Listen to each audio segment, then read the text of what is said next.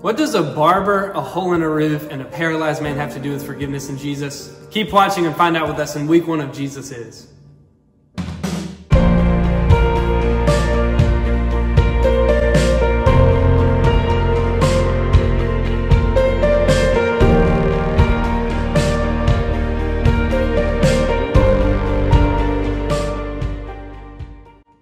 What is up, students? Hey, I'm so thankful you've joined us for another midweek study, but I'm especially excited about tonight because tonight we're starting something new.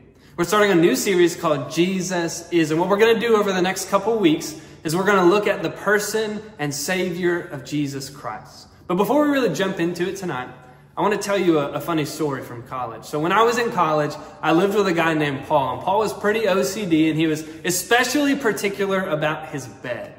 And I had another roommate named John who wanted to be a barber. He's a barber today. Um, and at the time, he would give guys haircuts on the floor all the time. so one night, he gave a bunch of guys haircuts, and it looked like outside of my room, somebody had like skinned a cat. I mean, there was so much hair. And so another friend of mine, Luke, and myself, sort of thought to ourselves, let's mess with Paul. So we got a broom, we got a pan, and we swept up all the hair, and we pulled back Paul's covers and put all the hair on his bed. And then we put the covers back. And another interesting thing about Paul is he's sort of a night owl. He would study late into the night and come back to the room after everyone else had gone to bed. And so I was sitting in bed waiting for Paul eagerly to come into the room. Here comes Paul. He sort of stumbles into the room and pulls back the covers. And in the darkness, I could hear as everything got ugly quick. Paul was out for blood. He was furious because somebody had put a ton of hair in his bed. He was mad. I mean, real mad. And it wasn't long before Luke and I realized, okay, we probably took this too far, and we had to ask for forgiveness. Maybe you're like me and you've done something before where you quickly realize, I have taken this too far and I need forgiveness. I want to ask you tonight, and obviously you can't respond to me right now, but I want to ask this question and I want you to think about it for a second. Is it easier for you to ask for forgiveness or to give someone forgiveness? For me personally, it's probably a lot easier to give someone forgiveness because I know uh, as, as a person, I've done many things wrong in my life. And so I know uh, it's just better for me not to hold on to it and just go ahead and forgive someone. But it's a lot harder to ask for forgiveness because it's embarrassing to go to someone and say, Hey, I've messed up. I've done something wrong and I need you to forgive me. Whichever one it is to you, I want you to think about something interesting about forgiveness. Here's the thing. The only person who has the power to forgive you is the person that you wronged, right? The only person who has the power to forgive you is the person that you've wronged. You can't go to somebody else and say, hey, this is what I did to so and so, and will you forgive me for this? They'll say, of course I forgive you, because you didn't do anything to me. But the only person who really has power over forgiveness in this situation is the person that you wronged, right? So I want you to think about this for a second. I'm sure all of you have been through some situation like that before. Maybe today you're struggling with wondering, okay, I, I, need forgiveness from someone, but I don't know what to do. Or maybe you're thinking, I have someone who needs my forgiveness, but I'm not so sure I want to give it to them. All of us are dealing with forgiveness in one way or the other. So what I want us to do today is I want us to look at someone who knows a lot about forgiveness.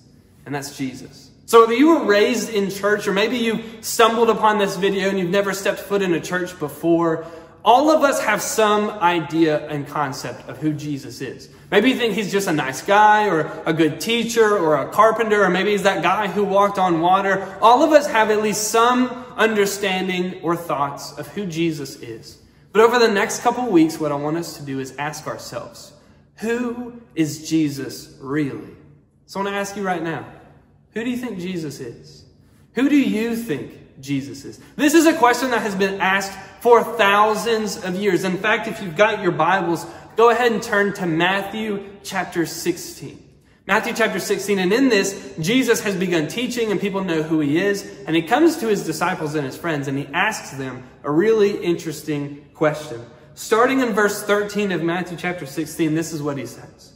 When Jesus came to the region of Caesarea Philippi, he asked his disciples, Who do people say that the Son of Man is. So here he goes. He's talking to his disciples and he asks them, Who do people say I am?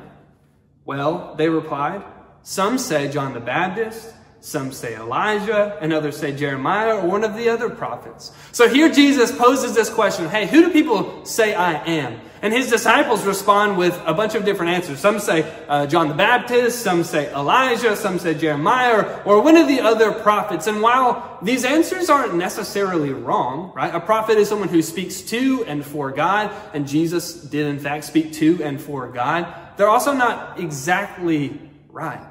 See, Jesus is more than just a good teacher or a prophet.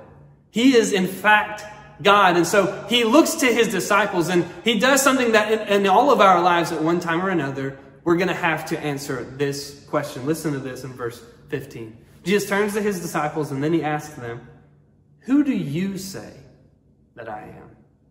Verse 16, Simon Peter answers, You are the Messiah, the Son of the living God. Peter gives two answers here to Jesus' question of who do you think I am? Peter says, number one, you are the Messiah. And the Messiah actually is the someone who would, is someone who would come and would free God's people from their bondage and sin. And then the second thing he says is he says, you're the son of the living God. Now, this isn't any small statement. This is a big thing to say about Jesus. He says, You're not just some, good, some guy who's come to teach and some prophet. You are, in fact, God's son. This would have gotten him in a lot of trouble in some people's minds. But I want us to look at another story real quickly about Jesus, and that's in Mark chapter 2, starting in verse 1.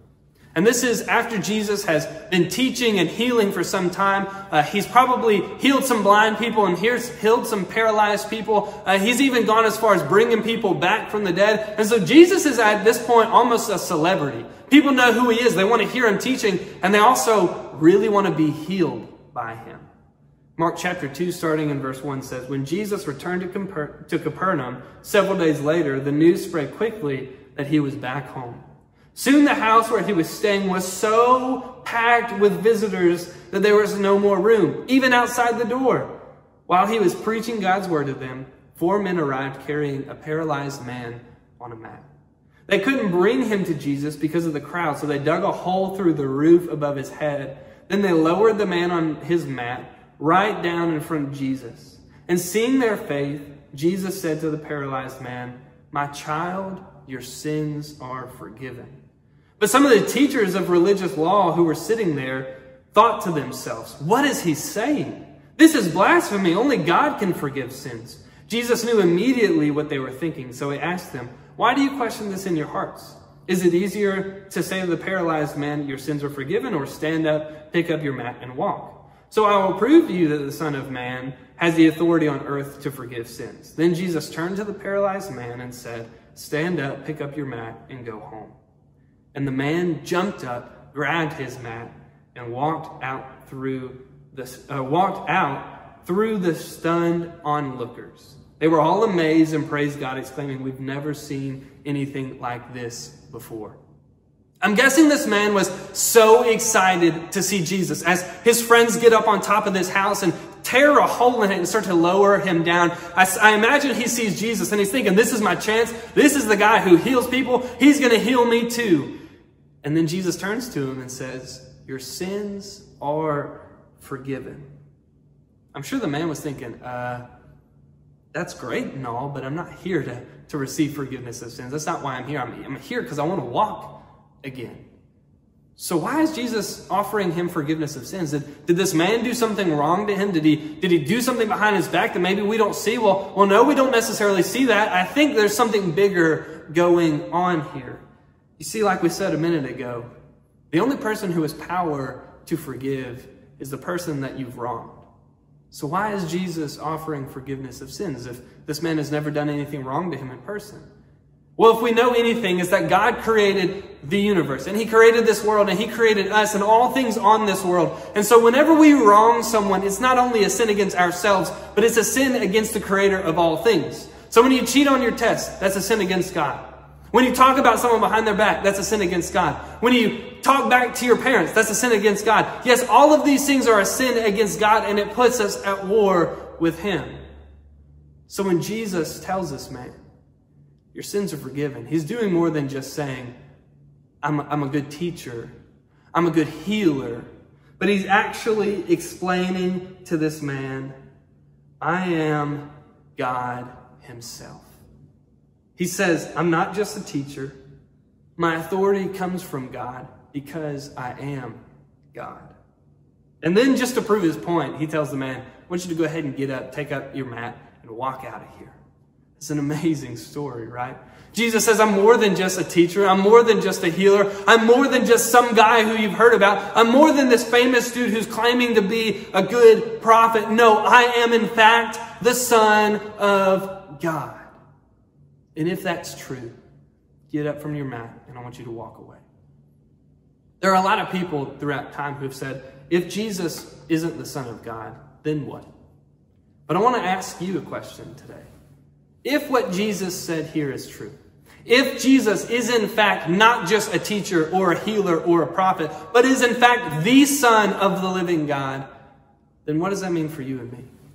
If Jesus is who he says he is, what does that mean about your faith? If Jesus is who he said he is, what does it mean for your daily routine? If Jesus is who he says he is, in the middle of this quarantine, what does that mean for our hope in tomorrow? The real question I want to ask you is, if Jesus is who he says he is, if in fact Jesus is God, what are you going to do about it?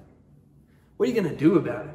You see, many of us are sitting around with this belief that Jesus is God, but we don't know what to do.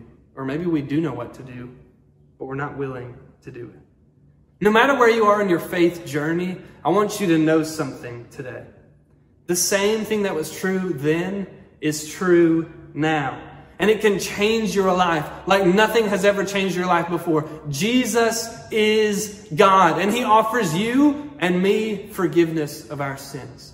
The only person who has the power to forgive is the person that you've wronged. All of us at one time or another have wronged Jesus by the way that we live, the way that we speak, the way that we think. We have waged ourselves against Jesus, but Jesus offers us forgiveness through His sacrifice. And if it's true, it means everything. It means absolutely everything. So here's my final question to you tonight. Who do you say Jesus is? Do you believe he's the Son of God? Do you believe he is the one and true Son of the living God? If so, what are you going to do about it? Let's pray together. Father, I'm so thankful for today. I'm thankful that a man came through the roof of that house, and that day Jesus made an exclamation to the world that he is in fact the Son of God. Father, I'm thankful that in these times of uncertainty, we can have the certain truth that you offer forgiveness of our sins, that you heal us, and that you have the power to destroy or to forgive. And God, you choose forgiveness. You choose love. You choose grace. We're thankful for you. And it's in your son's name that we pray. Amen.